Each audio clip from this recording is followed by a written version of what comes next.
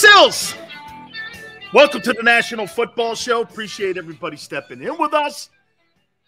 I want to do it right out of the gate. We have an absolute power pack show this week. Today, rest of the week. Today at 3:30, we'll have Merrill Reese. He will join us. We'll talk some birds. 4:30 Eastern Time, Mike Golic will join us and we'll talk some birds and 49ers. That's in the four o'clock hour. Till then, we invite you to come aboard with us. You know, it's funny. I was just talking to Tone about Jalen Hurts and how he continues to evolve as a quarterback. What are going to be the two common denominators on how we see him grow as a player? Durability and wins. Durability and wins. Okay? That's what's going to define Jalen. I don't, watch this. I don't think personally, I don't think Josh Allen's going to have a longer career than Jalen. I just told Tone that. Unless, unless he starts to harness some of the reckless football, my opinion, that guy in Buffalo is not going to last. He's he's not going to last. He's going to have an Andrew Luck seven years where Jalen may play 10 years. He's just not. And, you know, and, and, and I said something to Tone also about, about Jalen versus Josh Allen. And by the way, I'm not flipping my boat on him. Those are all correctable things. I'd rather pull a talent off the ledge than push him to the ledge. Okay? But what Jalen does better, I was making an example of Hurts when he plays. If Jalen is running towards the sidelines and he sees he's not going to get positive yards, what will Hurts do? Jalen will throw the incomplete pass. He don't care. He doesn't care. Now, 95% of the quarterbacks, they'll take the loss. Jalen doesn't want minus plays. He's always thinking about moving the sticks. That's what makes him smarter. He gets down when it comes to the slides. He knows how to slide. That's being an athlete. He's a pretty smart guy, man. And by the way, you know you know you know what's crazy? Sometimes when you say that a guy is smart, that means he's not as athletic. I I was like I said, we were talking about Jalen prior, and I said, dude, Aaron Rodgers is more athletic than Tom Brady. But Tom Brady's a better quarterback. And to me, like Lamar Jackson and Jalen Hurts, I think they're that same dynamic. Lamar's a better athlete, but Jalen's probably going to win more. Jalen's going to win more. He's not reckless with the ball. He despises turnovers. Okay. And I, I just think he's smarter, like Brady's smarter than Rodgers. Okay. Dual quarterbacks don't last, though. Jalen may break the glass ceiling on that. He may. Yet to be determined because no one else has. You don't build your team around dual threat quarterbacks until someone breaks that glass ceiling. Like Jalen's never going to lead the NFL in touchdown passes. He's not ever. He he he he's not. But he's going to lead the league potentially in win percentage. Okay? What's more important to you? Leading the NFL in touchdown passes or having the most wins? Okay? What's more important to you? Most wins or most touchdown passes? I'll tell you something, like I said, they better right the ship in Buffalo because you're looking at the next Dan Marino. Guy's going to put a ton of stats up, but are you going to get there, kid? This is about getting, remember what I told you? Hey, look, I love the talent. I love Allen, and I'm not turning my back on him. But you've got to go into this all season.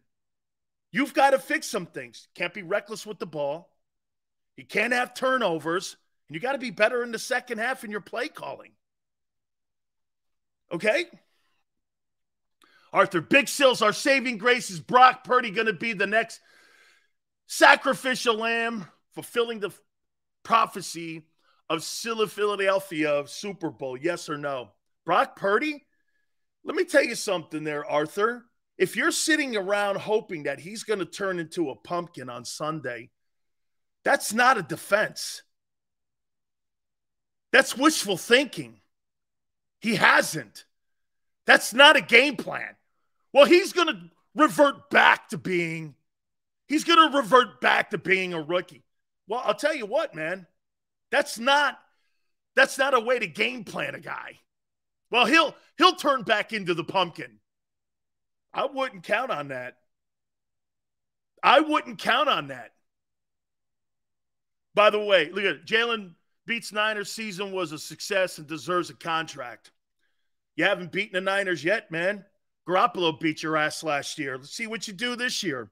By the way, we're going to go down the line and we're going to look at roster for roster here with this. We're going to get to that here in a minute. Please hit the like button. How about my boy Carton ranking the final four quarterbacks? And he has Brock Purdy ranked ahead of Jalen Hurts. Is he wrong? Where is it here? Here it is. Final four quarterbacks. This is Craig Carton. Mahomes one, Burrow two, Purdy three, Jalen Hurts four. Is he right? As I'll as a, a I'll use one of my one of my guys, Tone's words. Technically, Purdy's done more in the postseason. It's 2 and 0. Your boy's 1 and 1 with a shitball game. Let's see here. Hurts is 1 and 1. Purdy's 2 and 0. Hold on here. I didn't think about this. Purdy's 2 and 0. Burrow's 5 and 1. And Mahomes, shit, man, he's got to be he's got to be 10 and 3. The guy with the least amount of success in the postseason is Jalen Hurts. How you doing? Brock Purdy hasn't played a defense as great as Philly. Haason is going to eat. I don't know, man. What complete team have you played this year? If you're going to throw it at the Niners, what complete team have you played? You haven't played a team like San Francisco all year. Not one that has offense and defense. And by the way, since Christian McCaffrey, the 49ers are 12 and 1. They've outplayed you in the last 13 games. Last 13 ball games, the Niners have been better than you. The Last 13 games, think of that. The 49ers have been better than you. Well, remember something.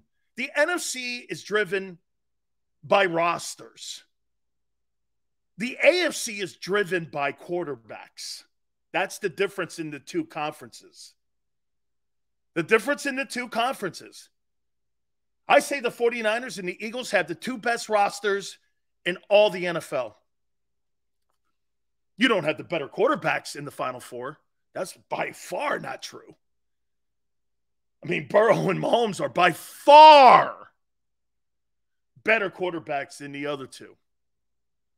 Okay? Facts. Now, Jalen's making his resume. He's one in one. Purdy's two and oh. Wow. And everybody in Philadelphia is sitting around waiting for Brock Purdy to melt like a, the wicked witch of the West.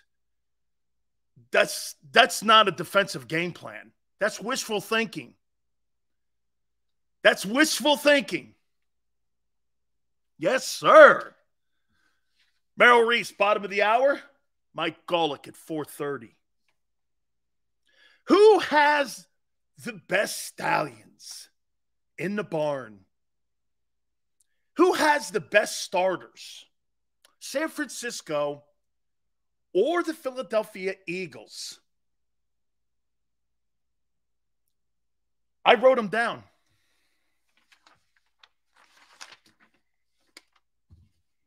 By the way, you think you have a better quarterback than the 49ers? On what metric? He's had a better season? That's a fair metric. That's a fair metric. This kid is, I think, I think he's 7 and 0. Brock Purdy 7 and 0. That's not enough to put out there and say, well, you can't make that narrative that Jalen's better because Jalen, Jalen's had too good a season, but he's not as bad as you think he is. And all you keep doing in Philly is hoping he turns back into a rookie quarterback. Well, he hasn't yet. He beat an MVP candidate in Geno Smith, and he beat a guy that owns the Eagles, Dak Prescott. Jalen's never beaten Dak. So Purdy's actually got something over Jalen a couple times. He's beaten the Niners. Jalen hasn't. He's beaten Dak. Jalen has it. Look at the last game. He threw 154 yards. Hurts threw for 154 yards. Congratulations. Dak and Geno. Look, look, look. Sean's going, Dak and Geno. He's going to be Brock Ugly after Sunday, 24 10 birds. Why, you haven't beaten Dak. When's the last time you beat Dak? 2019? Make it sound like you beat Dak all the time. You don't beat Dak Prescott. I love how Eagle fan forgets. He, he's got like he's got like amnesia when it comes to Dak. And Dak is so bad right now. Okay? Trexler goes, Sills must love being wrong. Why I picked you to go to the Super Bowl and I said Jalen would never throw for 4K. Pretty right. Was I right on everything? No, you got me there. But I and I also said he wouldn't throw for 30 touchdowns. But he got hurt, Sills. Dual threat. All right. I'm not jumping off no bandwagon. I'm not jumping off no bandwagon. I got the Eagles winning on Sunday. I'll bury the lead for Friday. No, no, no, no. But this ain't going to be the easy rock ride you think this thing's going to be. I'm not wrong on Jimmy G. Jimmy G! 49 and 19 and 1. I ain't wrong on that dude. Dual threat. Dak owns the Eagles. Who has the better roster? Eagles or 49ers? I have lined them up too, by the way. Across the board, I'm going to get a highlighter here. Jalen is better than Purdy? Not in the postseason. Not in the postseason, he's not. Not in the postseason. Technically, right, Tone? Technically. Technically. Not in the postseason. He's not factually, actually. Kittle made a lucky ca- a lucky catch. Dude, they played the Cowboys. You played the shitbag Eagles. You played the shitbag Giants. Don't make the Giants sound like like Josh Allen got beat. You see, he didn't play very well. Yeah, he played against the defending AFC champions. And Joe Burrow. You played against who was it? Daniel Jones. Congratulations to you. Wow. The giant win versus that 49er game. Not in the same room. Cowboys beat you this year and you haven't beaten Dak. How you doing? All right. Let's start with the defense.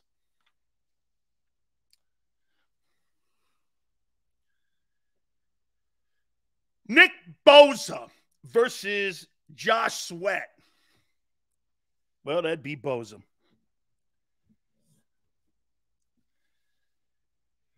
Brandon Graham, left end versus Samson Ebukam.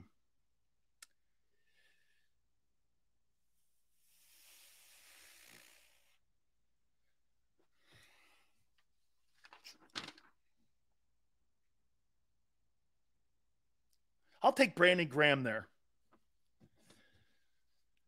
Javon Kinlaw versus Fletcher Cox. Kinlaw all night long. Arik Armstead versus Javon Hargrave.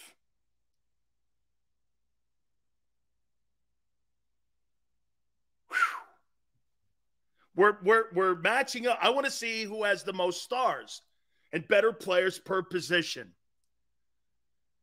Arik Armstead versus Javon Hargrave. Man, I think Armstead's good, but Hargrave had too good a season. I can't diss this guy. It would not be fair. I got to go Hargrave. Hargrave. It's 2 2. Let me see what Niner says. I'd say Eagles. How many guys over 10 sacks? Yeah, you played shitbag quarterbacks. Who was the number one ranked defense? Huh?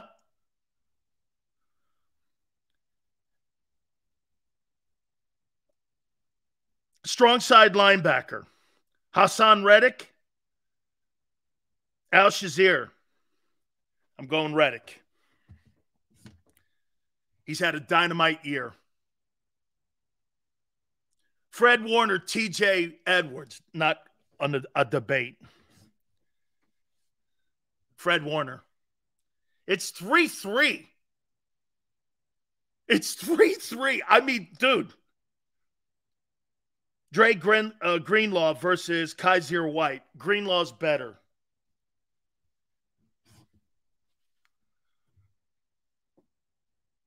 Lenoir versus Slay, right cornerback. Got to go Slay. Ward versus Bradberry. Got to go Bradberry.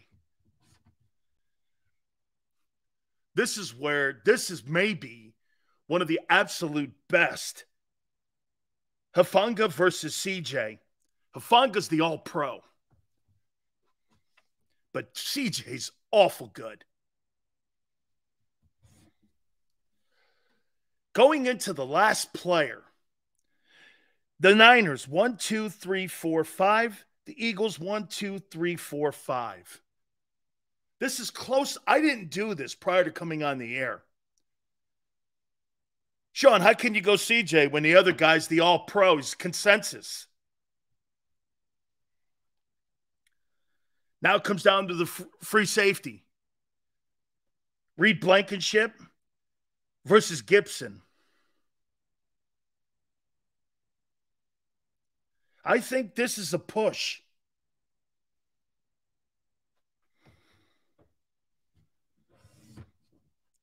Dude, this is closer than I thought. I thought the Niners I thought the Niners were going to have more stars on defense than the Eagles. And it's equal. Do I think the Eagles had a better pass rushing year? Yeah. But the Niners are a better unit. Not by much. Ranking dictates that. And by the way, when you say the Niners haven't played a complete team, nor have you, this will be the first game that you play where there's stars on both sides of the ball. You may have stars in Minnesota, you don't have them on defense. And Dallas is not the team of these two. Okay? The defense, to be fair, I'm shocked because I think the offensive side of the football, this is also going to be interesting now. Okay, Eagles right there with the Niners defensively. You know, right there defensively. Pretty impressive. Maddox, that's hey, block money. You're right. If Avonte Maddox is on the field, Eagles probably had the advantage and better players than the 49ers. If Maddox plays. If Maddox was playing, you're right. If Maddox was playing, you would have the advantage on defense. Absolutely. I'm actually pretty shocked here. Let's go to the offensive side. I'm, I'm, I'm almost embarrassed to put this out here, but McGlinchey versus Lane Johnson. I mean, come on, man. I wrote a list down, by the way. I want to show you something about the greatest right tackles in NFL history. And we'll do that right after this. Okay? Lane's great. Spencer Burford versus Isaac Seumalo. Both guys are the same. Both guys are the same. Both guys are the same. That's a push. Kelt, so far, the Eagles haven't lost one. Center. Hey, Brendel's great, but Kelce's better. Aaron Banks versus Landon Dickerson. Dickerson. Wow. I didn't think that this was going. I didn't think the Eagles had a better 40. I didn't think they had a better 22. I knew they had a better 53. Okay? Trent Williams is better than Jordan Mailata. Trent Williams, the first ballot Hall of Fame, Hall of Famer.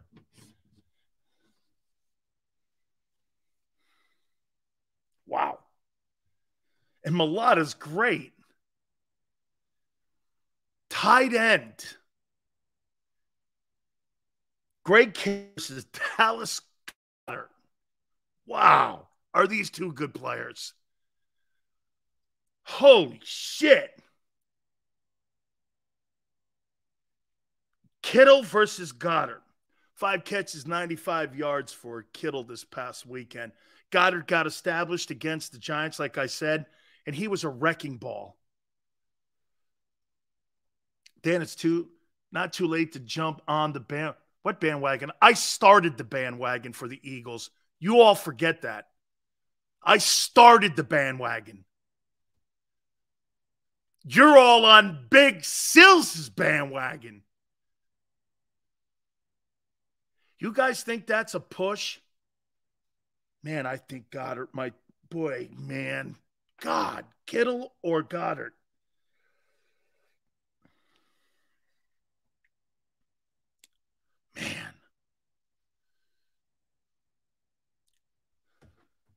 What do you think, Tone? Kittle or Goedert? Man, he was a menace too, wasn't he? In the you see Kittle blocking the uh, Cowboy guys? He's blowing dudes off the line of scrimmage. I mean, honestly, man,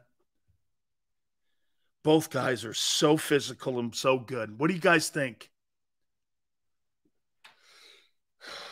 Kittle by a raindrop? This is a tough one. Why don't we call it a push? I don't want a fence straddle. Personally, I would probably take Goedert because I think he's a little bigger, but I'm going to go push.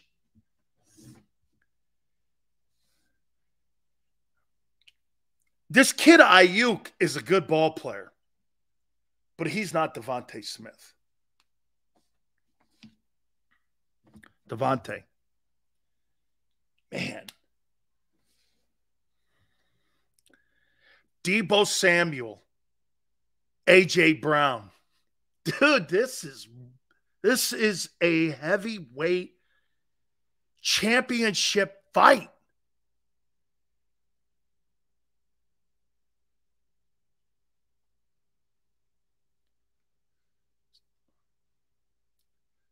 Damn. Deebo or AJ?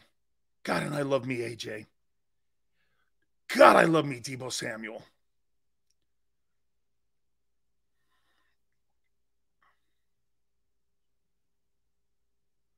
Deebo didn't have the numbers this year. Last year he had 1,400 yards. This year he got hurt, missed a ball, ton of ball games early. So the numbers don't speak to his talents. But AJ had the better year. So does that give him the advantage because he had the better year?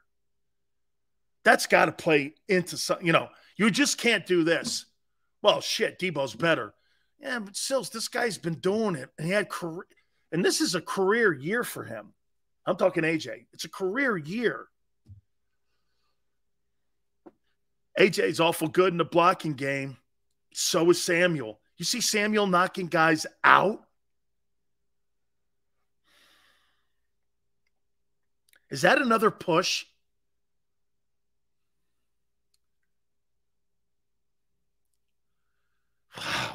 Dude, George Kittle and Dallas Goedert. I'm still looking at the back of my mind with this one. Deebo Samuel, AJ Brown. Dude, Jesse, this is a dream matchup. This is this is all pro heaven. This is really going, my God Almighty. This might be one of the most physical and most talented NFC championship games in recent memory. You know why? Because the quarterbacks aren't being paid and there's there's talent littered everywhere. I don't know if I've ever seen an NFC title game post salary cap than what I'm seeing right now. Both sides of the football are loaded with superstar play- Hall of Famers. Here, watch this. Kittle's going to potentially be a Hall of Famer. Williams is. Um, Lane, Jason Kelce. Just, I even gotten to the rest of the guys yet. There's four Hall of Famers on the offensive side of the ball alone. The defensive side, Bosa, Warner, um, Fletcher, all pros everywhere.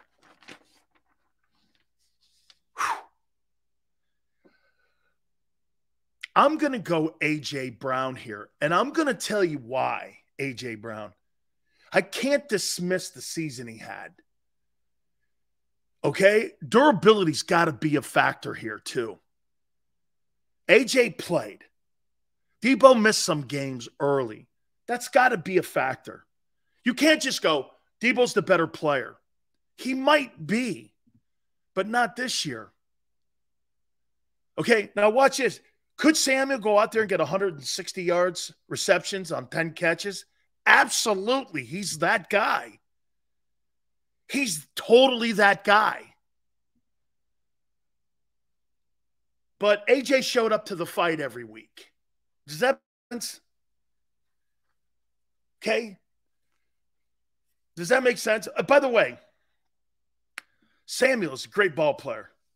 And if both guys are healthy all year, I think it's a flip of a coin myself, but I've got to go AJ. Okay. McCaffrey versus Miles Sanders. This is going to be another tough one here. Tone says this both were drafted in 2019 in the second round, along with DK Metcalf. Dude, that second round. So you had DK Metcalf, Deebo Samuel, and AJ Brown in the second round. Holy cow. 32 teams passed on those guys in the first round, and you grabbed guys like Jalen Reagor. Holy shit. That's insanity. You missed on DK Metcalf, not just the Eagles. All 32 teams missed on DK Metcalf, AJ Brown, and Deebo Samuel. All three dudes taken in the second round. That's insane. That's utterly insane when you're talking that talent. That's got to be the best. Dude, seriously, that's got to be one of the absolute best second round draft classes in NFL history. When you're talking that kind of talent, that's absolutely, yeah, like, like Alex said, that's sick. Was was White was Whiteside drafted in that 2019 draft? So you grabbed that dude in the set. Was he a second rounder? The kid from Stanford that the Eagles grabbed? So you grabbed the kid from the Eagles. Don't ever tell me how we could draft wideouts. Outside of DeVonta, he has sucked out loud. Okay? The guy in New England sucks out loud when it comes to drafting wideouts. You tell me a wideout he's up there in 23 years. The guy in the wing. Picking them wideouts ain't that easy. Name me a wide receiver Belichick drafted in the first round that was worth a shit. Right? Edelman and Amendola, those guys were like nobody dudes in later rounds. Wes Welker was a special teams guy in Miami who was traded and cut by the Chargers. Right? McCaffrey versus Sanders. Who you got? I got McCaffrey all night. He's a better player.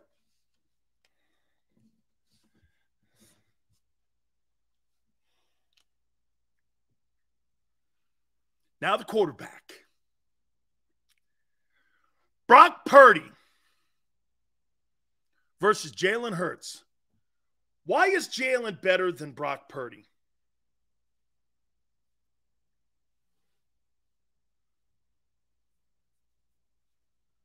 I'm asking you. I'm not, it's not a setup question. It's not a setup question. Why is Jalen better than Purdy? Jalen wasn't a first rounder either. I mean, it's not like this guy was thought of highly coming out of college. Hurts is a system. Purdy is a cog in the system. That's what Tone says.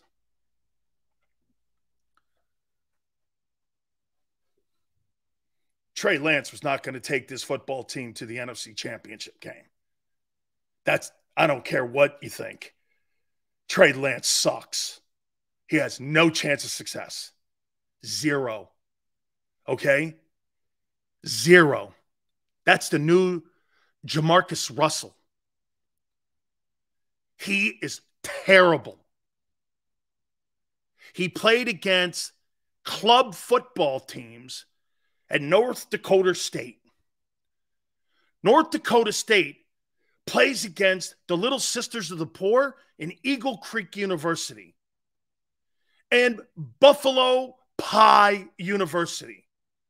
They don't play real colleges. They, they, they seriously, they play like the Saquon wins. What else they got up there in North Dakota? The Mount Rushmore University flag football team. They don't play anybody. Okay? He sucks.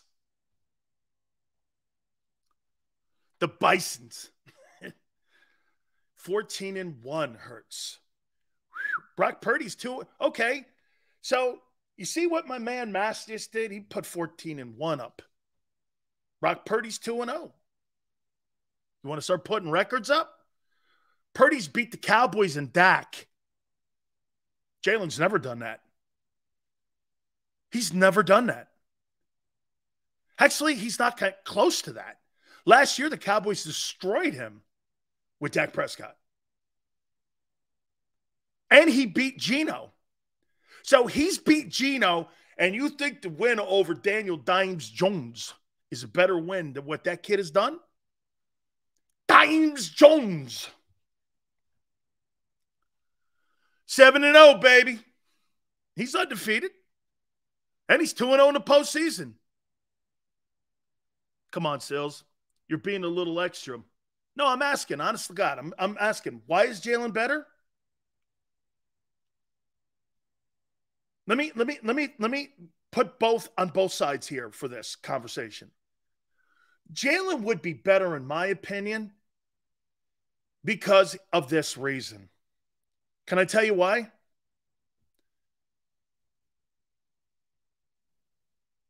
Jalen dictates play. Here's the difference between Jalen Hurts. Tone, tell me if you agree. Here's the difference between Jalen Hurts and pretty much every quarterback he plays against. Jalen Hurts dictates the play that's coming from the sidelines. He dictates it, whether to hand it off, throw it, um, run with it. Purdy's told where to throw the ball.